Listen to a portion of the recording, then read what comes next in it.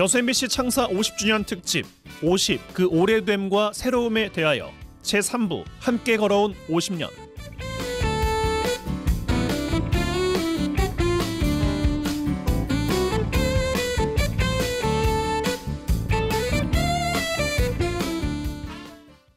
전남 여수시 돌산읍 향일암로 958.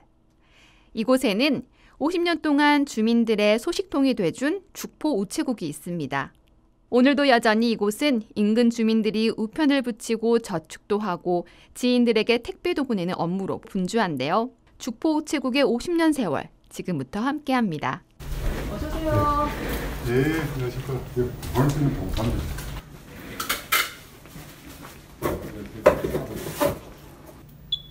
3,190원. 그냥 무조건 이름만 쓰면 돼요.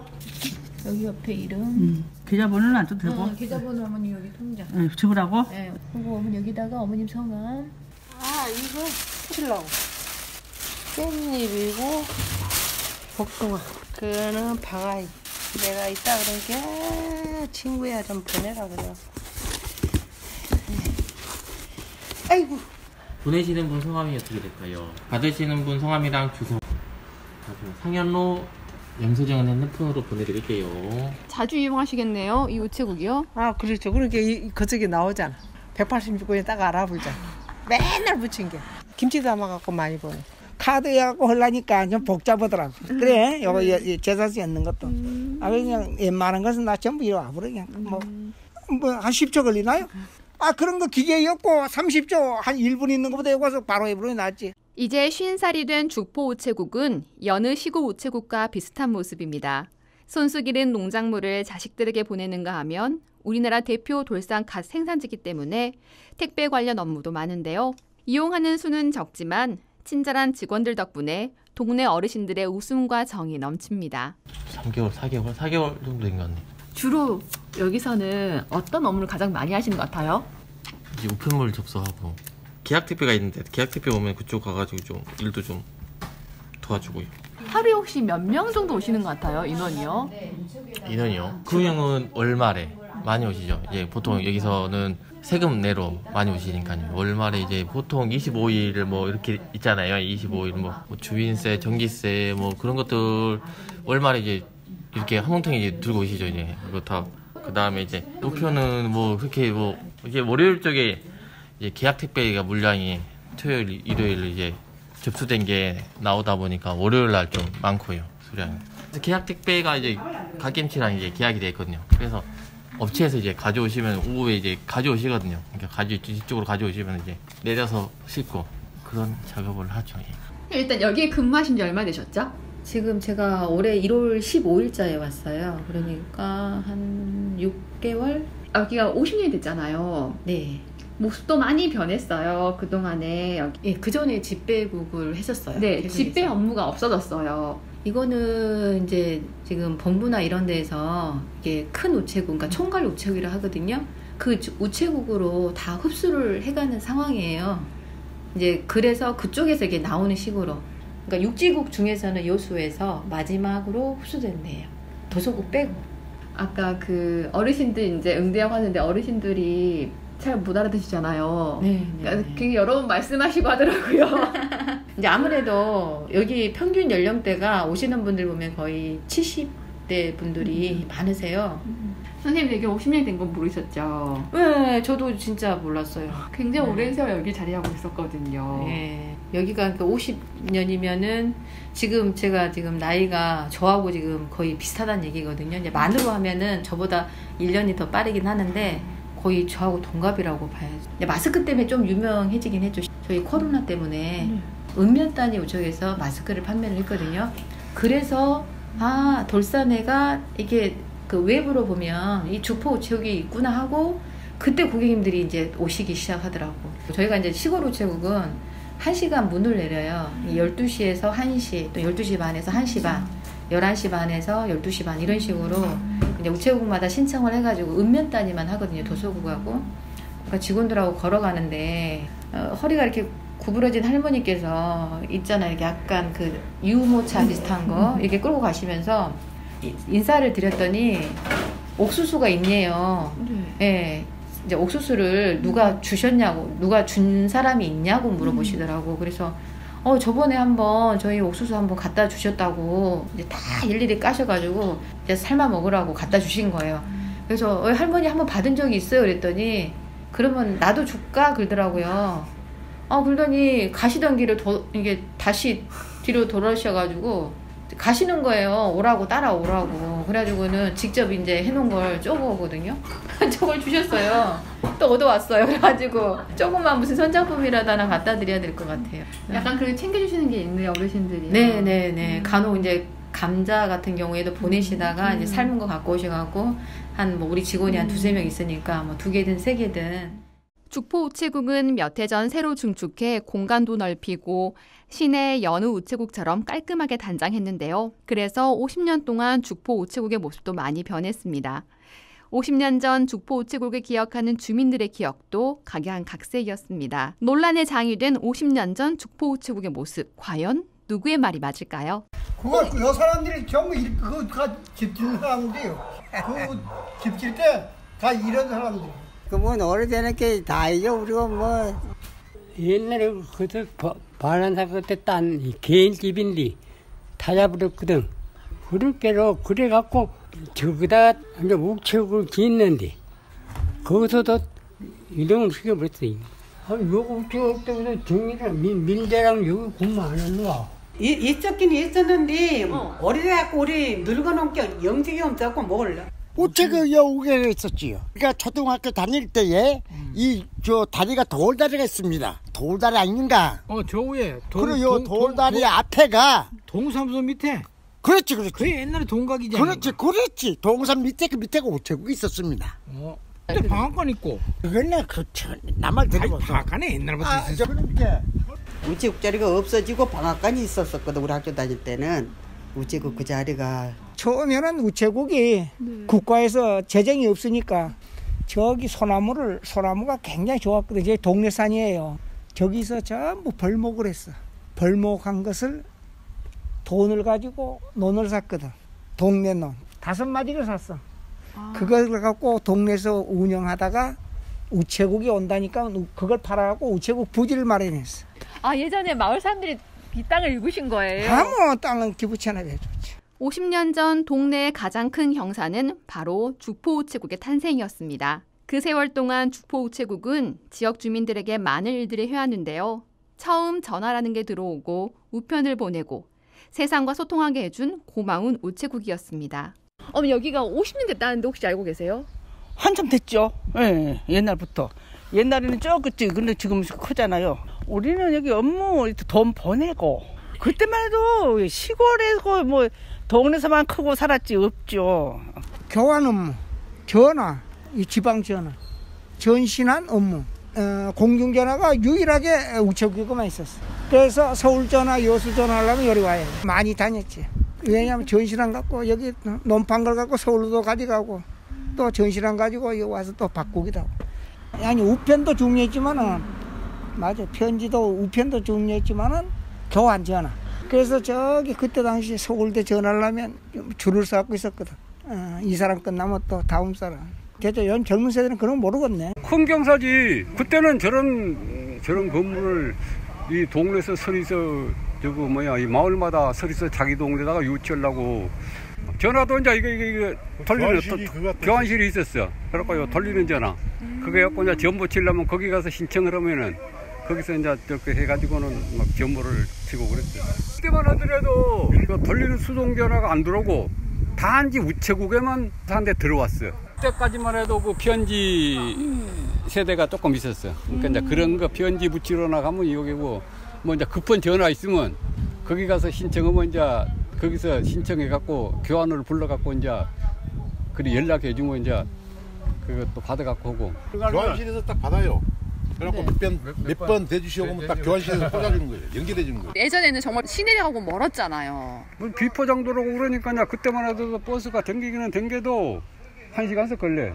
저 돌산대교 있는 돌산 돌산대교 밑에 나로 빼가 앉아 저건네 그 지금 해양공원 있지 거기로 왔다 갔다 했어. 50년 동안 여기 주민들에게 그 세상과 소통하는 좋은 발이 좋네요. 아 그러지 저 우체국이 들어가고 쉽게 말해서 요 우리 죽보로 봐서는 뭐 외부하고 이렇게 연락할 수 있는 망이 생겨서 좋았지 전화를 교환하던 시절 죽포 우체국의 꽃이었던 교환실 여직원 조민자 씨. 지금도 죽포에서 살아가고 있었는데요. 그 시절 그 이야기를 들어봤습니다. 그때 거기서 다 했죠. 교환 따로 하고 우체국 그또 업무도 거기서 다 보고. 일단은 이렇게 돌리며 받아가지고 몇 번 대주라 그러면 이렇게 꼽아주고 딱딱 대주는 거죠. 가, 우리가 이렇게 선이 있으면 이렇게 가가지고 꼽아가지고 그 선하고 다시 또 이쪽 선으로 이렇게 꼽아줘. 여보세요 어디 어 몇 번 대주세요 그러면 음, 근데 우리가 몇 번을 대주지. 죽포 이쪽에 죽포 서덕리 방죽포 여기 이쪽에 든전 이쪽에 다 평사리 죽포에서 다 받았지. 시비 걸고 다 술 취한 사람이 시비 거는 사람 다 있지. 깽짜 부린 사람도 있고 다 있지. 꼴소리하고 목소리가 예쁘네요. 한번 만납시다. 그러고 막 그런 거 많이 있었지. 아니까 이제 옛날에 이제 작업 걸려고 그랬겠지 이제 다.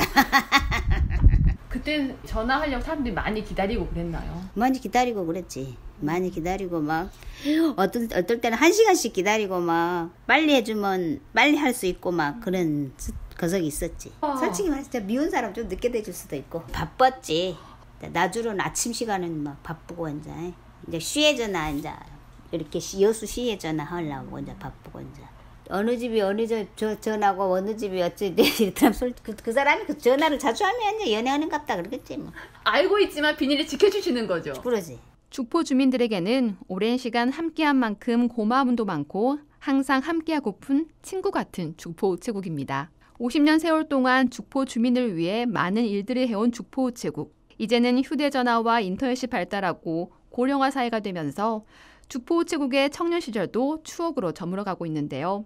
하지만 오늘도 여전히 죽포 우체국은 그 자리 그곳에서 주민들을 맞이하고 있습니다. 자, 60개 네, 네, 60개, 60개 네, 네, 4,900원, 82번. 이곳은 멸치 경매가 이루어지는 여수 어항단지 수협 공판장입니다.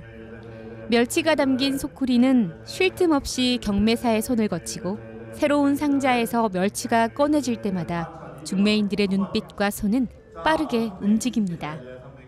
네, 360, 360, 네, 네, 3,300원. 아까 보니까 막 너무 순식간에 지나가는데 만져만 보면 아는 거예요. 살짝 살짝씩 만져보더라고요. 1초도 안 되게 지나가던데. 모양이나 건조나 뭐 색깔이나 선도가 좋은지 나쁜지 냄새가 나는지 빨리 그 순간 판단을 해야 돼. 손가락 다치기도 하고 그러던데. 멸치인자 잡다 보면 예, 찔리기도 하고 예, 손톱 밑에 박히면 어, 엄청 아파요. 애려요. 예, 한 일주일 가요. 순식간에 이루어집니다. 양이 많을 때는 뭐 한 11시, 12시까지 막 이렇게 9시 시작해서. 예. 요새 그렇게 많이 안 잡히니까 음. 올해 윤달이 들어가지고 그런 영향도 좀 있는 것 같고 절기를 무시를 못해요. 예, 올해 나이 50이고요. 여수에서 태어나서 지금까지 여수에서 살고 있는 멸치 중매인 하고 있습니다. 수협을 통해서 경매를 해가지고 우리가 이제 전국 각지로 물건을 보내는 그런 일을 하죠. 여수 멸치가 선호도나 물건 품질이나 이런 부분이 1, 2번째는 들어간다 생각. 아무래도 서해안 쪽이나 동해안에서 나는 멸치보다 이 남해안에서 나는 멸치가 육질이나 수온이 맞으니까 훨씬 더 물건이 좋아요. 50살이 됐다 그러셔가지고 만나뵈러 왔거든요. 앞자리가 바뀌었을 때 이번에 느낌이 아. 좀 어떠셨어요? 50이 됐다는 자체가 상당히 좀 믿겨지진 않았고 받아들이기가 좀 힘든 나이가 돼버렸습니다. 어렸을 때 이렇게 50이라는 나이면 거의 할아버지 수준이었는데 우리가 50이다 생각하니까 지금까지 뭘, 뭘 했나 싶기도 하고 몸의 변화나 뭐 이런 부분은 뭐 40대나 40 후반대나 그렇게 큰 뭐는 아닌데 정신적으로 다가오는 게 틀려요.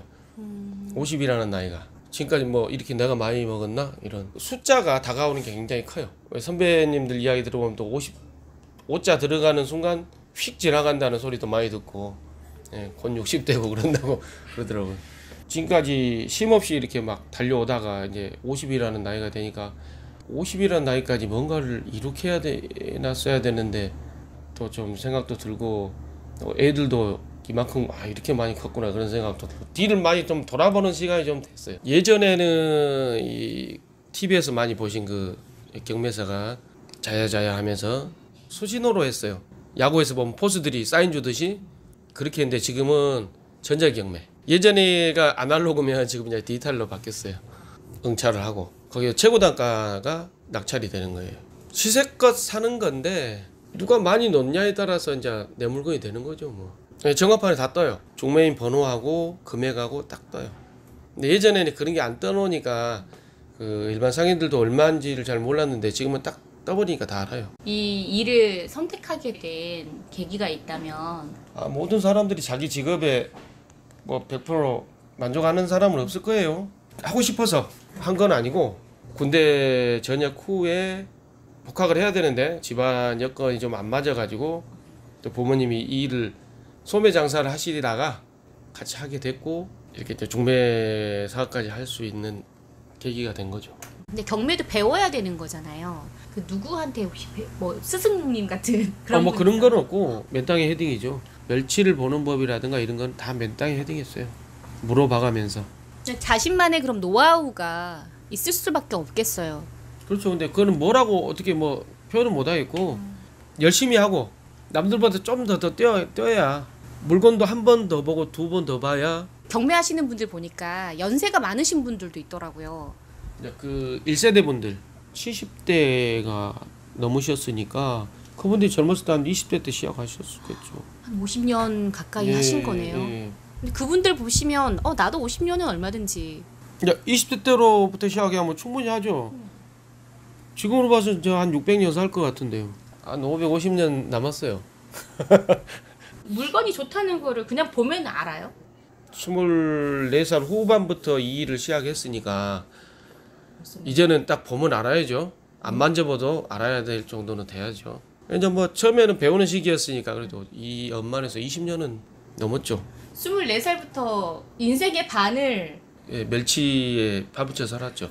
해마다 바닷속은 알 수가 없어서 많을 때도 있고 적을 수도 있고 멸치 좀 잘 고르는 방법을 좀 알려주신다면 참 뭐 여수 멸치에 다 맛있지만 일단은 이제 빛깔 빛깔이 좋아야 될 거고 그 다음에 육질이 좀 단단해야 돼요. 어떤 분들은 뭐 많이 건조가 됐기 때문에 안 좋다고 이야기하지만 무르면 변질도 빨리 되고 일단 육질도 단단해야 되고 냄새 없어야 되고 나쁜 냄새 배가 터지지 않고 기본적으로 쭉 뻗은 멸치가 그래도 가장 좋겠죠. 그래도 선도가 좋은 거라고 보면 돼요. 아, 장사는 지금도 실수합니다. 다른 업에 계신 분들도 그럴 거예요. 전부 다 참 잘했어요는 없어요. 잘못돼가지고 손해 보는 경우도 있고 뭐 또 이익이 날 수도 있고 그래요. 잘못 봐서 비싸게 샀다든가 미리 감정을 하고 들어가요. 그쵸. 어, 맛도 보고 품질이 어떠한가 음. 이런 것도 다 보고 들어가죠. 근데도 실수가 어 그래도 실수할 수 있어. 사놨는데 많이 나가고 값이 떨어져 버린다든가 반 값이 없어지는 경우도 있고 그래요. 그래서 바닷속으로 알 수가 없다는 거예요. 나중에- 그날 사서 그날 다 팔 것 같으면 걱정 하나도 없죠. 통장에 돈만 쌓이겠죠. 알 수 없는 바닷속만큼이나 알 수 없는 인생 속에서 무수히 불어대는 바람만큼 일에서도 실수가 발생합니다. 하지만 이완태 씨의 중심만은 흔들리지 않습니다. 여수의 깊은 바닷속을 닮았죠. 모든 사람들이 마찬가지지만 뭐 좌절할 때도 있고 그만두고도 싶고 하지만 이제 뭐 가장의 어떤 무게감 때문에 그리 못한 경우가 많죠. 정말 그냥 때려치고 가버릴까 그런 생각도 많이 한 적도 있고 저 자식을 또 먹여 살려야 된다는 그것 때문에 다시 또 하게 되고 이게 쭉 흘러가지만 않잖아요. 평, 평행선을 가지고 또 계속 오르막만 올라가는 게 아니라 과속 방지턱처럼 턱이 있기 때문에 나만 그런 게 아니고 다 그러니까 그런 스트레스는 또 혹시 푸는 방법이 있어요 개인적으로? 개인적으로는 뭐 아무래도 남자다 보니까 술로도 풀고 친구 만나고 터놓고 이야기할 수 있는 상대가 있으면 저는 또 개인적으로 우리 와이프랑 그런 이야기 많이 해요. 같이 술 한잔 먹으면서 친구들한테 뭐 말 못할 부분, 부모님한테 말 못할 부분을 또 와이프랑 많이 풀어요. 또 운동으로 또 많이 풀고. 아니 일을 하려면 자기 자기 관리는 필수죠. 뭐. 저는 이제 장거리를 많이 다니거든요. 거래처 관리를 해야 되니까 전국에 많이 있어요. 뭐 장거리 이제 운전을 직접 하고 다니니까 가는 동안에 내 노래 틀어놓고 따라 부르고 이제 뭐 누가 들을 사람 없으니까 막 쓰고. 원래 이제 대학 시절에 조금 음악을 조금 흉내를 좀 냈는데 섀도우라는 그 그림자 그룹에서 그 보컬을 했었어요. 서클 선배님 중에 김만중이란 뭐뭐 부르신 분이 우리 학교 선배님이세요. 어, 나머지는 유명한 사람이 없습니다. 그때 유행은 뭐 락이었죠 락. 32비트 음악까지 했으니까 메탈리카 노래가 우리 때는 가장 빠른 음악이었어요. 군대에 가서 이제 쉬는 시간이면 노래 부르면 노래 부르고 경연대라든가 아니면 체육대라든가 노래 가지고 많이 휴가를 많이 나왔죠. 특별 휴가. 어, 예. 우정희 무대를 예선을 찍었어요. 본 방송이 못 나왔죠. 왜요? 그때 이제 북한 사태 때문에 아. 북한 문제 때문에 저는 전투 배치가 되면서 음, 그때는 이제 어릴 때 꿈은 또 그런 쪽으로 가고 싶어서 아. 예, 그러고 잘 풀리나 했더니 좌절되고 뭐 그러면서 이제 뭐 사회로 나오게 되고 노래를 좋아하는 거죠. 예. 여기 18번이 있어요. 예전에는 오히려 이렇게 락하고 그 뒤로는 YMCA에서 맨들레에서도 저기 사회인 음악 노래 했잖아요. 공연도 다니고 그때는 저 좀 약간 민중가요 좀 그쪽으로 좀 불렀고 한참 더 뽕짝하게 지금 뽕필에 미치잖아요. 근데 저는 그때 뽕필에 좀 그랬고 지금 오히려 임세 노래라든가 좀 조용한 예. 좀 그런 노래가 지금 좋아요. 젊은 혈기에 메탈 부르고 뭐 락 네. 부르고 이렇게 막 여름처럼 뜨겁게 지내다가 네. 가을스럽게 예, 그렇죠. 예, 바뀌는 느낌이. 예, 조용하고 다른 사람은 모르겠어요. 내 마음이니까. 요즘 좀 부르는 노래 이문세 사랑은 늘 도망가라는 그 노래 좋아해요. 혹시 조금만 불러주실 수 있어요? 네, 아 그- 그거는 그거는 아니 저희가 이제 방송을 또 들으실 거잖아요. 노래를 틀어드릴 테니까 조금만 좀 불러주세요. 사랑은 늘 도망가 수줍은 아이처럼 이렇게 조금만 더. 땡겨 놓아 버릴까봐 꼭 움켜쥐지만 어렸을 때 저기 여자들 많이 사귀 봤잖아요. 친구들. 소절에도 노래 나와요. 그리움이 조차 사랑은 늘 도망가 잠시 쉬어가면 좋을 텐데. 이게 아, 좋다. 그런 노래가 예, 이제 이문세 노래 스타일은 별로 안 좋아해요 저는. 저도 좀 고음을 좀 지르는 편이라 이제는 고음으로 악 쓰면 혈압 올라서 안 돼요. 그 또래 친구분들 사이에서는 만나서 50에 대해서 어떤 이야기를 해요? 갑게 하는 친구들하고는 그런 이야기를 좀 조금은 심도 있게 이야기를 많이 하는 편인데요 아무래도 술 한 잔 먹다 보면 뭐 이제 가장의 무게감 애들 키우고 또 와이프 이렇게 처자식을 키우면서 이런 거 저런 거 이야기하는 거 그다음에 앞으로 또 어떻게 해야 될까 음. 걱정 나이 먹어가니까 그런 걱정들을 많이 하게 돼요. 음. 예, 50이 되다 보니 사회에서 바라보는 50살은 어떤 느낌인 것 같아요? 모르는 곳에 가고 50이면 이제 노땅 취급 받는 거고 예. 제가 이 중매인 생활을 하면서 이 업을 그대로 같이 가니까 옆에 사람들도 나이가 먹으니까 항상 형이고 동생은 유지가 되니까 그런 부분은 크게 먼은 아닌데 중간 이상 위치가 됐죠 이제 어디 가서든 중간 입장이 무게감은 더 무겁거든요 어느 모임이든 이끌어 가야 될 중추적인 어떤 나이대가 된 거죠 아, 이제는 예. 그리고 애들도 우리 자식들도 뭐 이제 큰애 스물넷, 스물둘, 어 열아홉 그러는데 세 명이에요. 예. 벌써 이제 나기자하고 날라 두 명은 갖고 한 명은 또 이렇게 날개짓을 하려고 막 하는 때라 뭐 다 키웠네라고 이야기하는데 그 무게감이 더 커요 아직은.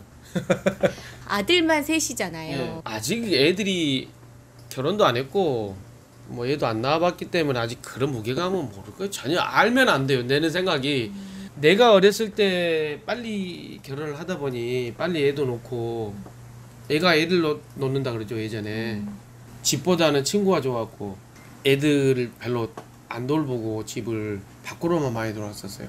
큰애한테 좀 많이 그런 점이 미안하고.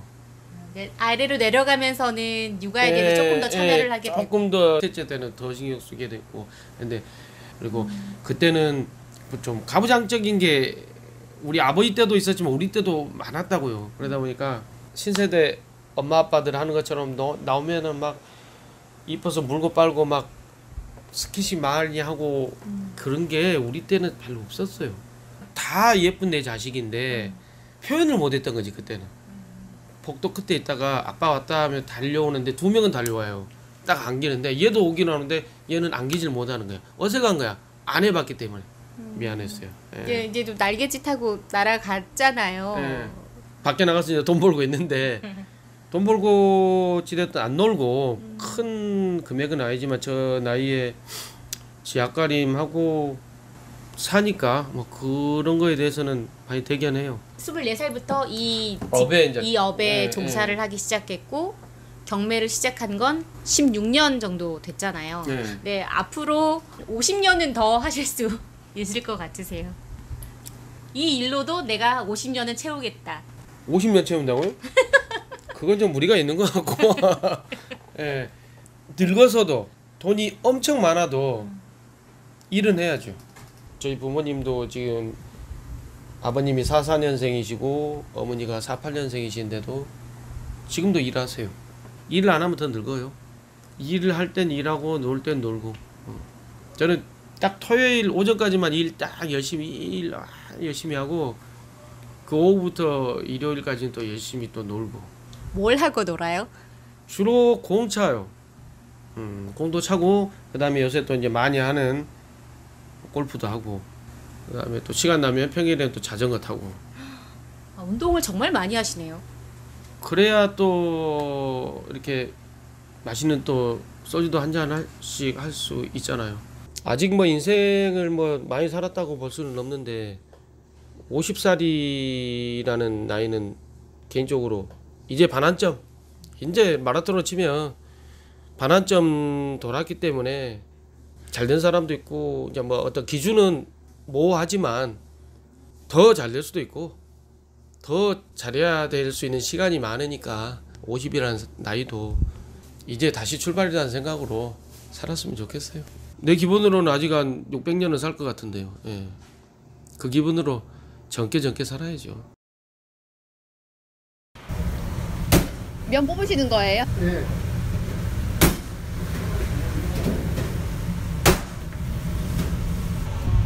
온 몸에 무릎부터 다 움직이시네요. 네, 그래야 아무래도 힘이 들죠. 밀가루가 선생님하고 같이 춤을 추네요. 두 개에서 네 개, 네 개에서 여덟 개. 이거 여덟 개, 서른 두 개, 육십사 개, 백십팔 개 돼. 면이 되게 균일하네요. 일정하네요, 두께가.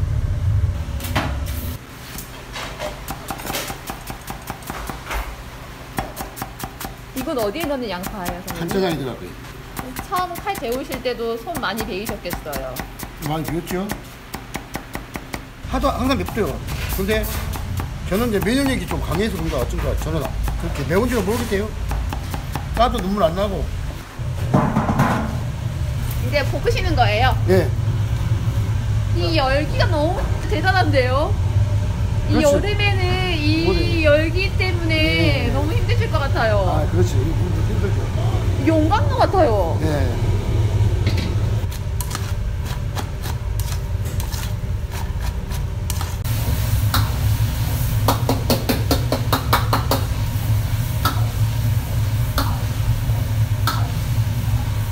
사장님 이 프라이팬을 들고 흔드시려면 팔 힘이 굉장하셔야 될 것 같아요. 그러죠. 12kg 이렇게 왔다 갔다 하시려면 이게 드, 드는 게 아니니까 아무래도 이제 우리가 노하우도 있고 기술이 있으니까요. 네, 그렇지 그렇죠 소리만 들어도 음식이 어떻게 만들어지는지 어떤 냄새가 나는지 아시겠죠? 영원한 국민 음식 자장면 한 그릇이 만들어지는 과정입니다. 오늘의 주인공 임민호 주방장은 50년 자장 소스를 볶고 수타로 면을 빼고 음식 한 그릇에 온전히 자신의 노력과 정성을 담습니다. 하루 일과가 어떻게 되세요? 아침 일어날 시간은 한 5시 반 이거는 시- 시장도 가고 이것저것 하고 또 이제 혼자 하다 보니까 할 일이 많잖아요 너무 양파 까야 되고 썰어야 되고 밀가루 반죽도 해야 되고 해물 작업해야 되고 막 그렇게 파다 보니까 일이 많아요 이제 그러면 10시나 돼서 짜장 소스 볶고 음식 하시는데 하나부터 열까지 다 선생님 손이간이네요. 그렇죠. 제 손이 안 거쳐서 가는 음식이 없죠. 아, 안 거쳐가서 이거 있다. 단무지. 단무지는 이제 썰어서 가, 재료상에 오니까. 어린 나이 배고픈 시절 식구입 하나 줄이기 위해 첫 발을 들였던 동네 중국집에서 그의 50년 수타 인생이 시작됐습니다. 어린 나이에 고생도 많이 하고 서러움도 많았지만 그런 경험들이 지금의 주방장을 있게 했습니다. 굉장히 어렸을 때부터 짜장면 만드셨다고 들었어요. 내가 초등학교 5학년 중퇴하고 있으니까 그때는 먹고 살기, 살기 없으니까 아무래도 식구 하나 이 줄인다는 것이 쉽지는 않잖아요. 하나 줄인다 생각으로 이제 밖에 이렇게 나왔죠. 진짜 그- 어린 날인데. 그런 나이에 그래도 예- 옛날에는 그렇게 어이가 안 보였죠. 옛날 지금은 좀 그거 옛날에는 안 그랬어요. 처음에 그 중국집에 들어갔을 때 생각나세요? 그때는 저, 저는 짜장면 안 먹었어요. 시커매서. 초놈이라는 시커매, 시커먼 것도 있겠지만은 처음에 들어가서는 이제 배달도 하고 어린 나이에 배달한다는 게 쉽지 않아요. 그때는 자전차가 배달이자 자전거 타고. 철, 저 철가방이 나무, 나무로 짜지 엄청 무거워요. 네 개, 딱 네 개 들어, 네 개를 들어갔는데 막 물 먹으면 그게 얼마나 무거운지 딱 엄청 무겁죠, 이게. 정말 처음부터 짜장면 하는 걸 배우지 않았네요. 그렇죠. 설거지도 하고 배달도 하고 배달도 하고 주방에 반스도 빨아주고 담배도 사주고 갖고 한 번씩 국자리도 맡기도 하고 어린 나이에 서러웠을 것 같아요. 배우고자 그러고서 그런 마음 먹고 내가 그 일을 시작했으니까 아 이거 간도하시겠다 그런 생각을 안 했어요. 이 일을 더 크게 서게 하려면 서울로 가야 쓰겠다. 저기서 이제 서울 상경한 거죠. 지금 생각하면 눈이 막 돌아가요 돌아가. 촌놈이 그 막 빌딩 빌딩에 있으니까 막 눈이 돌아가는데 고생 많이 했죠 진짜. 하루에 설거지를 하루 종일 물, 그 설거통에서 물이 마를 수가 없어 하루 종일 다른 일도 하도 못하고 설거지만 하는 거 설거지만 하루 종일 1년 이상을 했을까 하면 내가 그렇게 근데 그렇게 설거지 손이 막 불고 그 장갑도 없잖아요 그, 그 시절에 장갑도 없고 그 동상도 걸리기도 하고 50년 동안 이렇게 면을 뽑아오셨잖아요. 보람된 순간이 있으세요? 보람된다는 건 얘기는 항상 손님들이 가시면서 맛있게 먹었다, 뭐 했다, 참 잘 먹었습니다. 그래서 그렇게 말씀해주고 갈 때가 가장 내가 이, 이 직업을 가지고 있으면서 내가 보람된다는 느낌이 그렇죠. 내가 으- 만든 음식 가지고 맛있게 먹고 진짜 되겠다 그런, 그런 말할 때 내가 이 기술을 잘 배웠다. 열심히 요리에 집중하는 주방장 옆에는 오랜 세월 함께 고생한 부인 유경희 씨가 있습니다. 음식이 만들어지는 동안 손님 맞이, 서빙, 면 삶고 건지고 계산까지 1인 5역을 해내는 베테랑인데요. 그런데 그런 고생도 몰라주고 나보다 남 생각 먼저 하는 남편 때문에 서운할 때가 한두 번이 아닙니다. 사모님도 사장님과 함께 계속 쭉 하시면서 고생 많이 하셨죠? 했죠. 진짜 많이 했어요. 나 음, 마음에 눈물을 좀 흘렸지. 그러니까 우리 손님들 그래. 사, 사장님은 면 빼고 그럼 한다지만 사모님은 일을 몇 듭을 하느냐고. 면 잡아주고 면 삶는데 건져서 식혀서 면 잡아주고 계산에 성- 서빙에 생각을 해보세요. 눈, 뜨, 눈 뜨면 하루 종일 저녁에도 같이 있고 눈, 남 터주는 거 좋아하고 뭘 하면 이렇게 싸주는 거 좋아하고 우리 단고스로 손님 오면 이걸 맛있게 먹으면 열무김치를 맛있다라면 어머 이거 같이 빠져. 이렇게 싸주 아마 다른 사람이 마누라 필요하더라면 니도 데리고 가거라 이런 스타일이다 보니까 너무 자기는 그런 거 모르겠죠. 아까도 막 혼자서 계산하려면 나 정신이 없는데 몇 가지 일을 하다 보면 사람이 그러지 않은 게 조금만 줄였으면 성질도 나이가 먹으면 더 죽는다 하더만 저 사람은 나이가 먹으면 더 크고 어째 성질 더 사람 나요 나 힘이 힘이 좋아서 그런가 어, 손님들도 그래요. 맛있는 음식을 저, 저 전수 받아서 사장님 전수를 받아서 누구 하나 제자가 하나 있어서 이런 음식을 계속 먹었으면 좋겠다. 그러니까 손님들이 사장님 건강하세요. 너무너무 맛있다고 우리 이 음식을 맛있게 먹게끔 오래오래 건강하세요. 건강하세요 하는 손님만 해요. 사모님도 기분 좋을 때가 많을 것 같아요. 그냥 손님 많을 때 기분 좋겠죠. 나 솔직히 심리로 현금 들어올 때 깨끗한 음식 맛있게 먹고 간다는 그 소리. 이 우리 대한민국이 못된 사람보다 착한 사람이 많으니까 살아갈 수 있는 거예요. 진짜예요. 사모님한테 힘이 되는 손님들이 꽤 많네요. 많아요. 네, 많아요. 내가 땀을 뻘뻘 흘리고 있으니까 5만 원짜리 주면서 4만 원 나왔는데 만 원은 아이스크림 사 먹으러 가고 주고 간 손님. 또 요수 김 사장님이라고 계세요. 맛있는 거 그냥 시원하게 뭐 사사 주세요. 꼭 전부는 안 받으세요. 그런 분은 좀 안 오시면 뭐 우리가 뭐 서운하게 했을까 하는 그런 것도 들어요. 정말 쭉 단골들이 선생님 약간 가족 같네요. 응, 그렇지. 그럼 오면, 어, 오셨어요. 그러면서 이렇게. 이게 아까도 내가 학생들 세명이 왔는데 4만 3천 원에 나와서 5만 원짜리 주더라고. 나도 바쁘다 본게. 근데 7천 원만 내줘야 되는데 내가 1만 7천 원을 준 거야. 그래서 다시 왔어. 이모님, 저희 계산이 얼마 나왔어요? 그래서, 어머, 내가 잘못 내서 돈을 덜 내줘 봤을까? 왜 4만 3천 원 남았어? 그러니까, 내가 5만 원 줬으면 7천 원만 내줘야 되는데, 이모님 1만 7천 원 내줘갖고, 뭐야, 절대 다시 온 사람, 그냥, 고맙다. 근데 우리 복 받을 것이다. 내가. 그래갖고 만원 주고 가더라고. 어, 그래갖고 주고 가더라고. 우리 아저씨가 주방에서 봤어. 그걸 봤어. 그러면 그냥, 아, 정신이 없어. 때 제가 참 잘한다. 정신 어디다. 아무리 힘들어도 손님들이 알아주니 힘이 되는데요. 한 그릇 가득 담은 정성에 오랜 단골들도 이제는 친인척 사이가 됐습니다. 여기 단골이신 거예요? 단골이에요. 아니 10년도 넘어요 단골. 와서 먹으니까 너무 맛있으니까 일부러 오잖아요. 시간 맞춰서. 제가 엄청 바쁜 사람이에요 저도. 탕수육이 특히나 맛있어. 저기 같이 오신 분도 장사하시는 분인데 문 닫아놓고 왔어요. 아니 정말로 맛있어. 오늘은 더 유난히 아삭거리면서 맛있네. 이집 탕수육 진짜 맛 내가 좋아해. 다른 지역에서 오셨죠? 예예. 창원 스타 스타가 진짜로 쫀득쫀득하고 잘 안 불고 맛있어요. 면이 쫀득하고 소스가 진하고 맛있어요. 이거 매일매일 먹을 수 있을 것 같아요. 여기는 음, 면도 쫄깃쫄깃하고 이 소스가 좀 달라요. 다른 데는 소스를 다 갈아가지고 치트가니 하는데 여기는 소스를 참 성의 있게 막 돈만 고집하지 않고 자기 소신껏 먹은 사람은 딱 먹어보면 알아요. 느껴. 예. 딱한 그릇 먹고 나면 기분이 좋으시겠어요. 그죠? 얼큰하니 참 좋네요. 아주. 50년 이 길이 천직이라 생각하고 이 한 길만 걸어온 수타 짜장의 장인 임민호 씨. 매일같이 반복되는 일이지만 항상 재밌고 항상 새롭기만 합니다. 다른 길도 생각해봤지만은 또막 막 다른 길로 가려고 하면 또 그것이 그 속치는 소림 보고 산다는 그런 식으로 딱 그 다른 길이 막 그렇게 딱 마음에 들지도 않고 못 가도 못 오겠더라고. 이 이것도 안 해야 쓰겠다 하고 건축도 좀 배워보려고 해봤는데 그게, 그게 안 되고 다 모든 게 다 똑같더라고요. 이 길이 내 길이구나. 천년직이라고 해. 천년직이라 이렇게 보면 되는데 진짜로 선생님의 인생이 다 녹아든 수타 짜장면인 거죠. 네, 그한 이제- 그릇에. 그렇죠. 요즘은 거의 이제 없는데 그 길을 이렇게 한 사람이 그렇게 없, 없죠. 우리 나이에 그 흔치는 않다고 봐야지. 힘들지만 앞으로도 계속 이렇게 하실 거예요.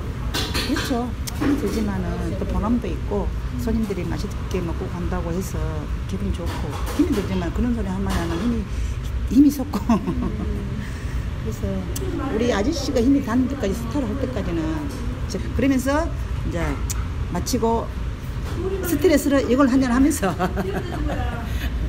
50년 해오셨는데 양파를 썰고 볶고 면을 뽑고 아직도 재밌으세요? 그렇죠. 일이 손님이 나를 기다려주고 음식이 내 음식을 먹고 하- 하니까 나는 보람 있고 항상 일하는 지- 재밌죠. 그것을 짜증내고 그렇게 하면 예를 들어서 내가 일을 딱 간둬야지. 재미없다고 어떻게 일을 하고. 앞으로도 계속 이 일을 쭉 하실 계획이 있으세요? 앞으로 한 7, 7년 정도 더 해야 될 것 같아요. 저희 집사람 같은 경우는 스타가 힘들면 기회를 차는데 손님하고 약속이고 내가 그이 일을 했던 일이기 때문에 한 그릇 두 그릇 나와도 그때까지는 이제 힘이 없어도 할 수 있다. 매 순간 행복으로, 매 순간 할 수 있다는 희망으로 자신의 손에서 한 그릇의 수타 자장면이 나올 때까지 이 일을 꼭 하고 싶다는 임민호 씨. 한결같은 모습으로 50년을 지켜온 자부심으로 오늘도 그의 주방에는 그의 열정만큼이나 뜨거운 냄비가 춤을 춥니다. 야야야